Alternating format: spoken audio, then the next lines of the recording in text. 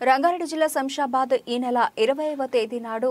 BRS party కార్యనిర్వాహక అధ్యక్షులు మంత్రి కేటీఆర్ మంత్రి సబితాంద్రారెడ్డి చేతుల మీదుగా